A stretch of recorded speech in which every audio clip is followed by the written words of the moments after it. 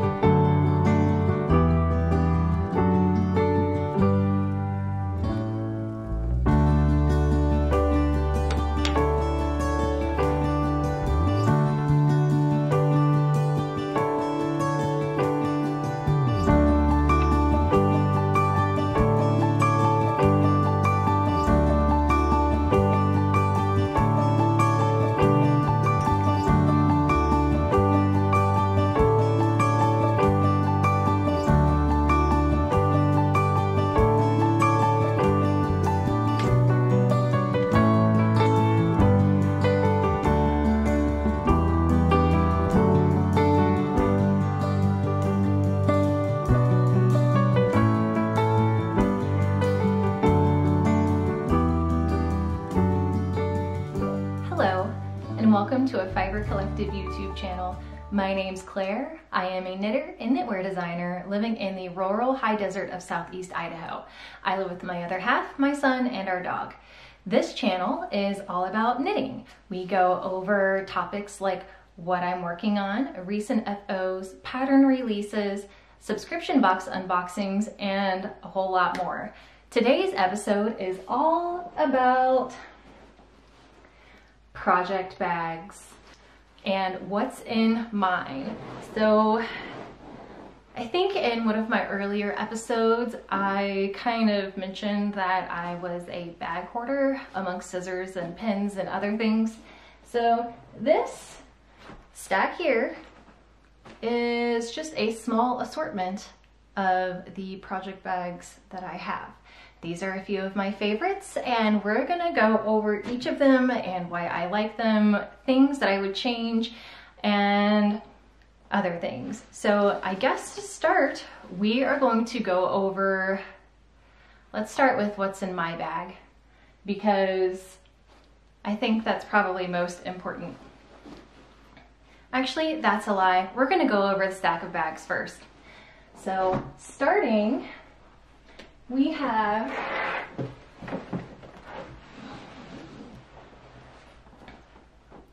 project bags. this is, um, it's probably a little absurd, but it's what I have and I like bags. So we're just gonna start small and we're gonna work our way up to the big ones. So small bags, zippers. Um, generally I don't like zippers, but for small projects, I think they're great. So I like to use small bags for socks and notions and just little loose odds and ends that go inside the bigger bags. This particular one is really cute. It's just a lightweight fabric. It's got a little tag on the sides so that way you can connect it to things. It is a Dutch company. I'm 90% sure I found this one on Etsy. I don't speak Dutch, so I am probably going to butcher the crap out of this, but I believe it says Tien en Miep.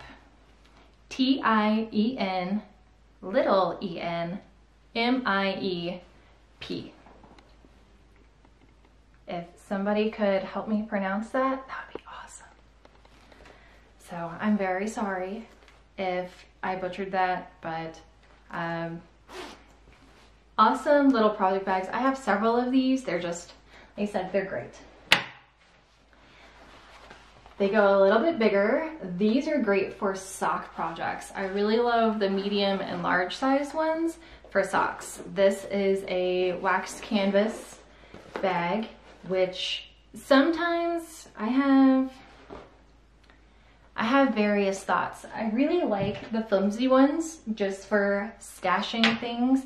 The sturdier ones that have wax canvas have their own purpose because they can stand upright and I think that's awesome. So Tannei Casey, I found her on Etsy. Oh gosh, it was several years ago, but she makes awesome product. I have three of her bags sitting in my lap as we speak. And she makes a variety of things. She's also expanded into like bucket bags if you like the round ones instead. And she also does um, tote bags, which I have downstairs in my office. I didn't bother to bring them up because, well, I use these of hers a lot more often. I don't really use tote bags anymore because I never go anywhere because I'm a hermit. That's just the way it is.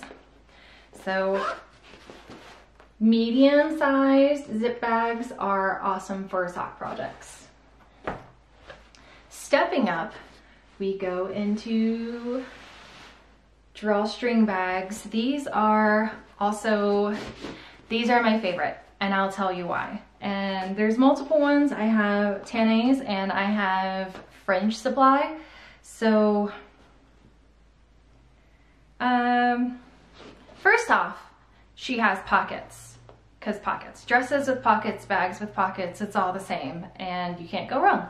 So this one has, first off, it has the beautiful, this is a lighter weight canvas. I want to say it's canvas. It's not a wax canvas though. Um, I could tell you who designs this fabric, but I don't know off the top of my head because I'm having a royal brain fart. But it's very pretty. And then it also has this heavier lining in it. And then it also has the grommets if you like to separate your work. I never really understood the grommet thing. Um, it's just, never really understood it. But if you use them, then kudos to you. Her bags have grommets.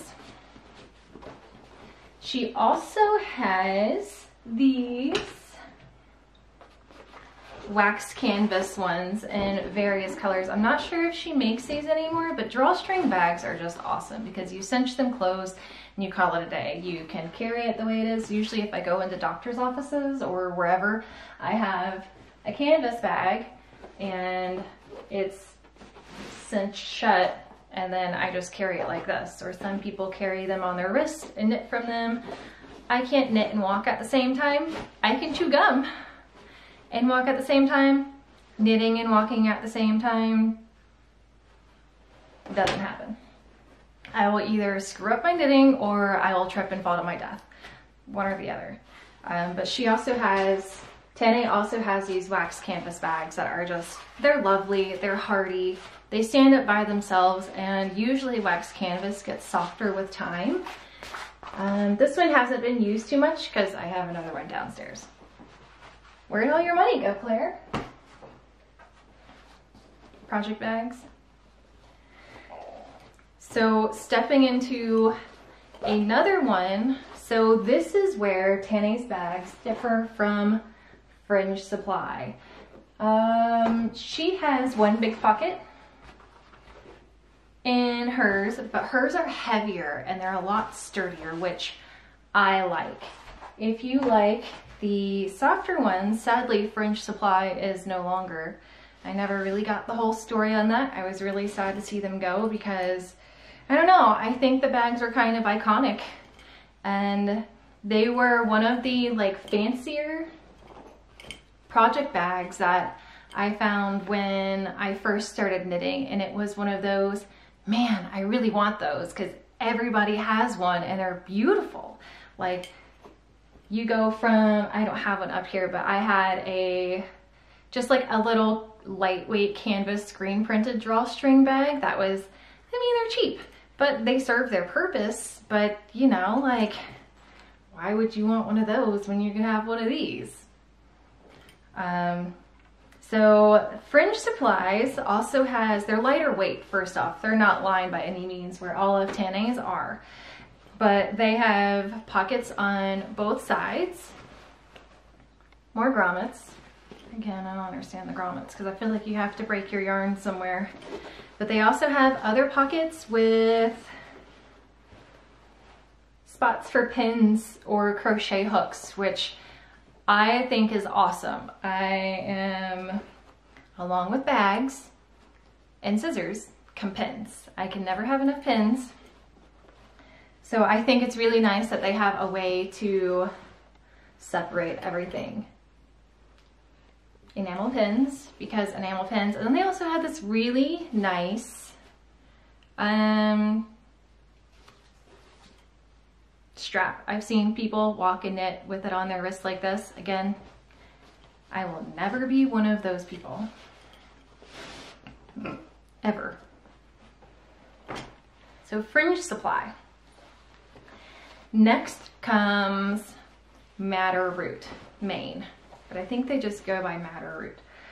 These are another awesome project bags. So these are completely different from the rest and I probably don't use them as often as I should, but they have a wonderful purpose. They're lightweight, so they are stuffable. So Madder Root makes various kinds of project bags. They're all screen printed and sewn. They have this wonderful webbing and then their hook is they make them trundle bags. Instead of having a drawstring, you basically stuff your project in there.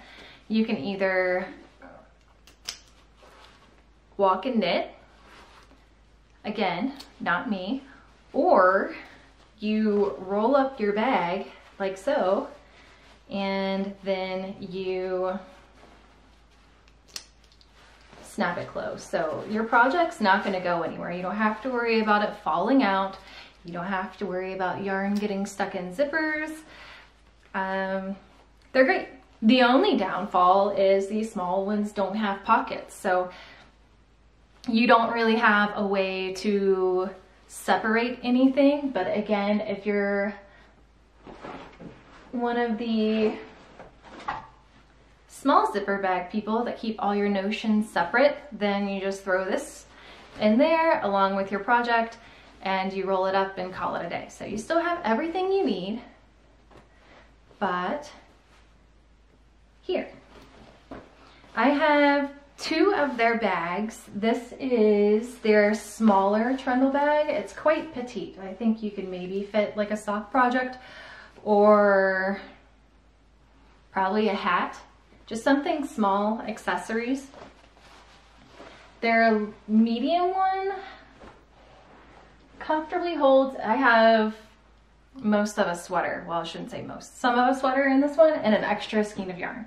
So they have various sizes and various um, styles.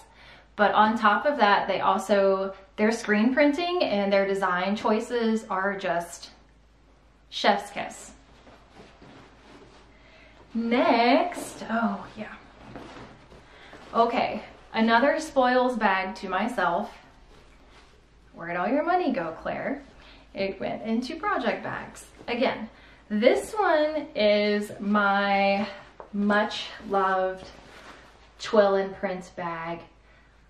The effort and the detail that goes into these bags is beyond me. Um, it's just they're everything. This was before Tiffany started dyeing yarn. She was mainly bag making and the fabric is screen printed in her designs and then she would cut the fabric and make these bags. She has bucket bags and other various styles of project bags and I just, I needed one. It was just the way it was. Um, I don't remember why I stopped using this one. I think it was out of fear of messing it up or spilling something and staining it and it just being beyond repair. They are pricey, but they are worth every freaking penny if you want a spoil yourself and support a small business. item. This is, I'd say they're top of the line.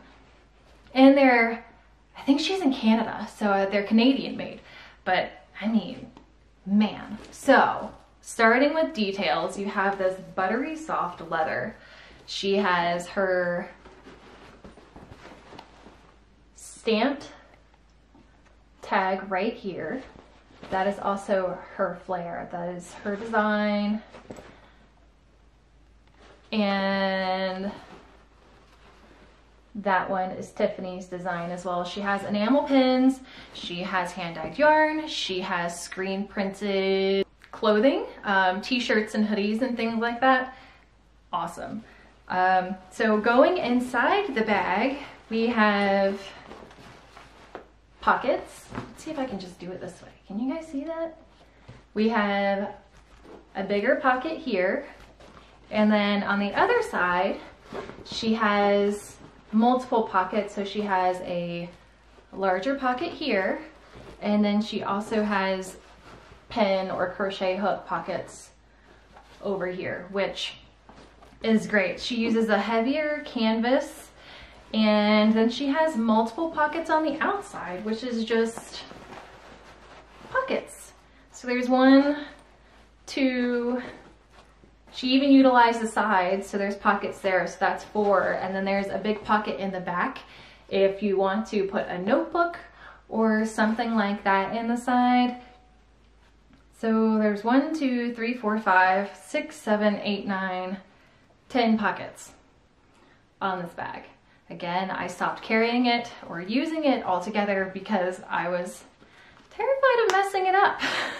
that's just, that's just the way it is. I should probably use it more because it's, it is a beautiful, beautiful bag. Again, Tiffany screen prints the bags and then she sews them and just meticulous amount of detail that goes into these. I will link her in the description box below. So getting into tote bags. This is a Ritual Dyes backpack. I bought this one on a whim at a Maryland sheep and wool thing at the Knot House Yarns. And then went to Maryland sheep and wool and I needed something to carry all my crap in. So I bought a bag. It's great. It's not terribly functional. It doesn't have pockets or anything, but if you want to a way to carry your stuff on your back, this holds a tremendous amount of stuff. So that's, I mean, that's half a sweater and it doesn't even take up half the bag. And then we'll just say for giggles, the needle case and a notions pouch. I mean, it's, it's got a lot of room. So that's that. This is, I think the straps could be different. The straps kill your shoulders. If you load the sucker down, all you have is this webbing. And when it's strapped over your back, it's it's not terribly comfortable, but the design is awesome. Like that is, come on, that's clever. So Ritual Dyes. And then last but not least, this is probably my most used bag. Um, if I travel and I need to carry a tote bag, this is, this is the one. This is the Twig and Horn Project tote bag. It has a removable shoulder strap. It has the double shoulder strap here. I guess this is the crossbody strap as I would call it. It has pockets. They were very generous in the pockets. It has a center compartment here, which I love. Again, grommet situation. Um, and the center console goes all the way down. I think they're newer bags. It's removable, but I'm not sure. Uh, don't mark my words on that. And then it has pockets on the other side. So It has space for pretty much everything you'd ever need. It is heavy and thoughtful in the details as well. It's made in America. It has outside pockets. I also have their wool one, their gray wool one. Um, another fancy bag I never really use because I'm scared of messing it up. It's probably one of my things I spend money on things and then I'm worried I'm going to ruin it. I was the I was that way with sweaters for the longest time, but I spend time or money on something and I'm scared it's going to get destroyed because I had younger children or dogs and I just it gets tucked away because I don't know what's going to happen to it. And well, kids, that's why we can't have nice things, right? So that is the Twig and Horn Project Tote Bag. They are, it's just a lovely, lovely bag. So, with that said, we are going to jump into my currently used items. This is my Fringe Supply bucket bag that I leave by the couch. Instead of having a basket, this is pretty much my, this is my basket. And I'm not gonna lie, I cleaned it out before I decided I was gonna share it with you all because it turns into a catch-all and it's, it's awful 90% uh, of the time. There's usually dog hair and random things that get thrown in here because they'll wind up on the coffee table and I'm tired of looking at it. So if it's put away and not on a flat surface, then my mind's usually a little happier. So it just gets thrown in a bucket or a bag or in the ottoman that has uh, storage space inside of it. So if you ever come to my house and start snooping around, you're probably gonna find a lot of random crap in a lot of really random places. Anyways, um, so what's in my bag? We discussed Madder Root.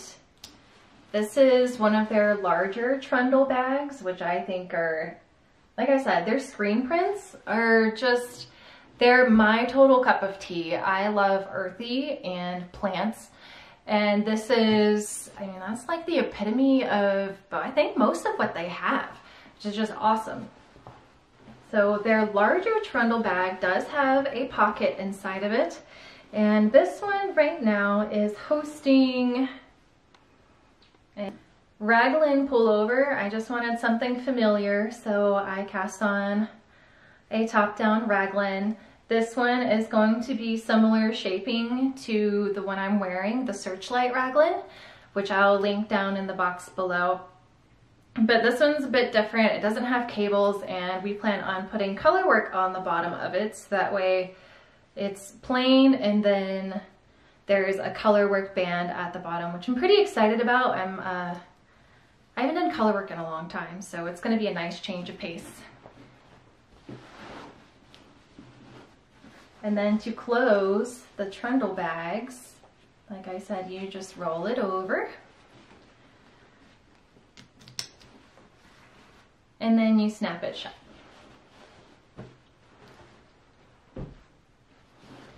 Also inside of my basket bag is my notions pouch. This is where I keep all the little odds and ends that are also separated and organized inside. This bag is, I think it's Rifle Paper Co.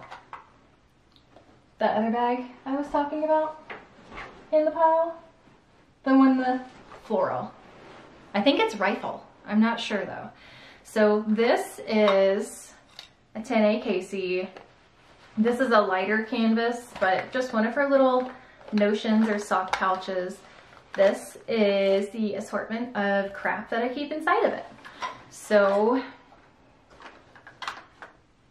chapstick,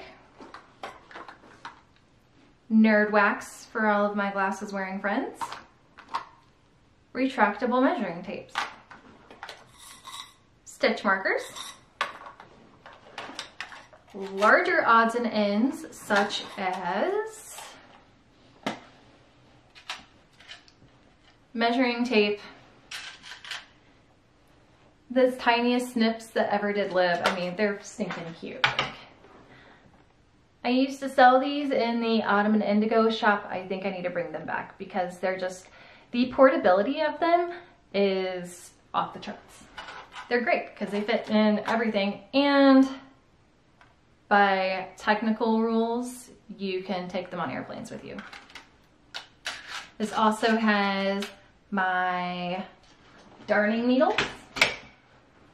The bent tip ones are my favorite because they just go into, I just think that they work better. They seem to find a, a better hold into finding where they need to go when you try to weave in ends. Let's see, what else is in here? We have cable needles, T-pins for uh, when you're changing out needles, a repair hook, and some more odds and ends for my interchangeable needles. I think that's pretty much it. Oh, and a sewing needle with thread because you never know when a kid's gonna need it or need something repaired. Also inside of my Notions pouch is my favorite pair of scissors, my stork scissors. You can, they're not storks, it's a crane. You can find them in my shop online. They're my favorite scissors. They're just, they're nice and sharp. Pom-pom maker, because a pom-pom maker and gauge rules, which are great for checking your gauge. I have this metal one from Susan Bates. Sorry, Susan Bates, but this was not, this thing is not my favorite tool. And technically, I think I should just part with it. So this, I don't know if you can tell or not, but it's got a bent tip. It keeps trying to focus on my face. And it's just, come on now. It's not very good. It has a bent tip on it. It snags things. It's just cheap, crappy metal. That's how I feel about that. Problem solved. So, and a pencil because you'll never know when you'll need a pencil. So that is what's inside my Notions pouch. Okay, moving on. Hold on, we're getting hoarse.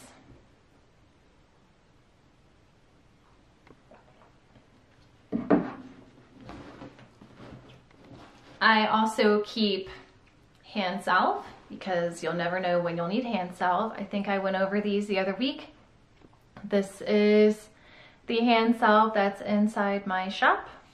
It's a beeswax and lanolin. Uh, my hands dry out really bad, especially during the winter time. So I always have something for my hands inside the bag. And time I told you about pins.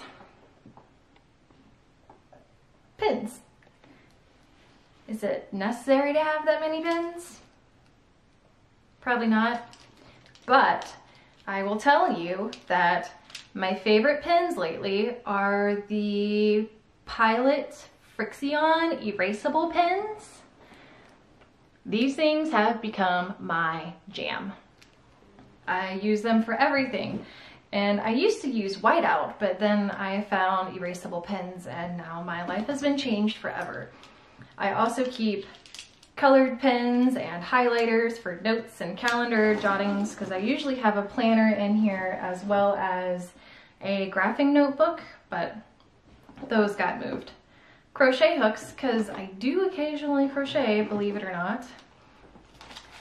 ChiaoGoo knitting needles. So also inside my bag, I have my sock needles as well as my regular needles. So I don't really use, well, I use these, the long ones for socks. I have a shameful amount of uh, knitting needle sets, probably a lot more than one person should ever need.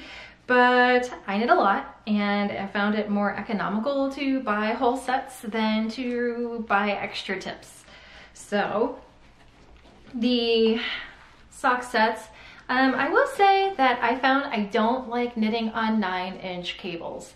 They are, I guess for not the fat fingered or the larger hands. I have fairly large hands and I just, my hands cramp and it's annoying. Like nine inch needles or cables with these itty itty bitty, guys, look at these. Like they are stinking tiny. That is the whole size of the knitting needle. These shorties are, they're petite. I don't knit with them much. if ever. So there's those. And then I have this lovely Maxwell case that I picked up from Magpie Fibers.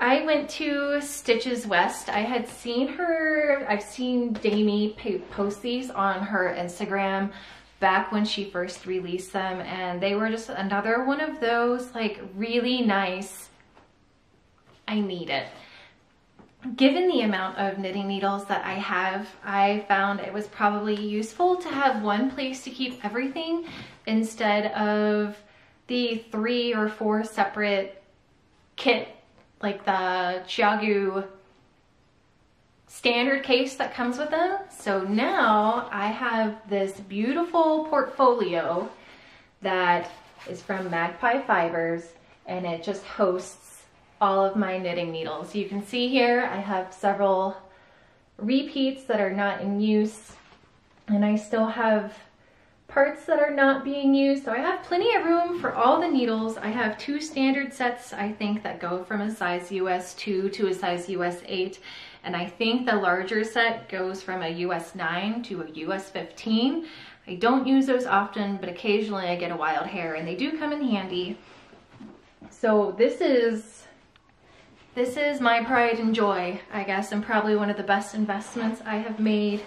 Here's a little pocket that I keep all of my cables in, though I do wish I had an envelope or something for each individual size because I have lots of extra cables and lots of 22 and 30 inches. So it's nice to be able to keep those separate. But this is the cable portfolio that I keep inside my knitting bag. It's made by Atomic Freedom and apparently uh, Magpie Fibers has like a whole line of this waxed canvas um, material in several colors and I guess we'll call them outfits. It's really nice stuff. So I think that's it for what's in my bag.